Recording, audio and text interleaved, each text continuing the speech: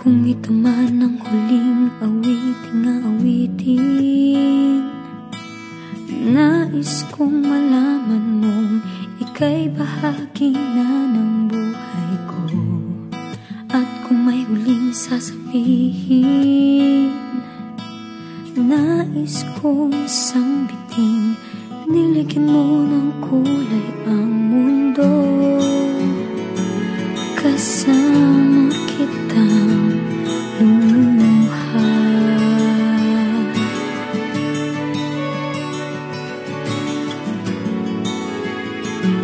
Dahil sa'yo ako'y may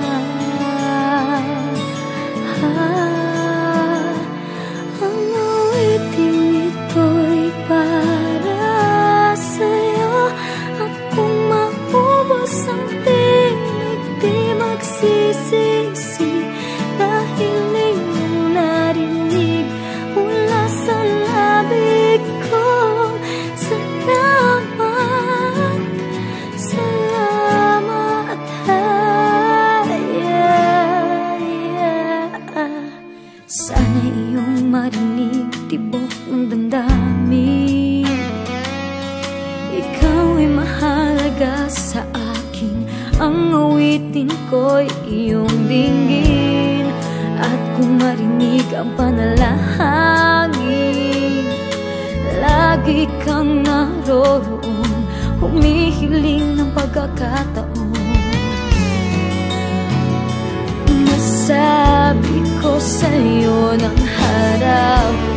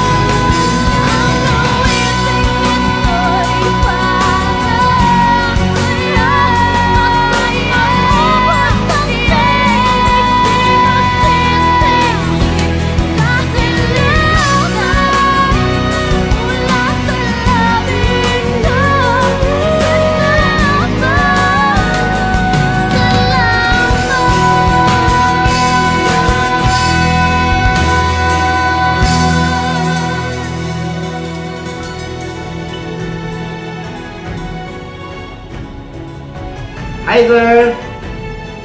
Good day to all our benevolent school partners and stakeholders. Please allow me to express my warm and heartfelt pasalamat for being a huge part of DeepN or MOOC's journey to the delivery of quality education in the midst of pandemic. Because of your assistance, we can serve our learners better and we can be sure that education can and will continue.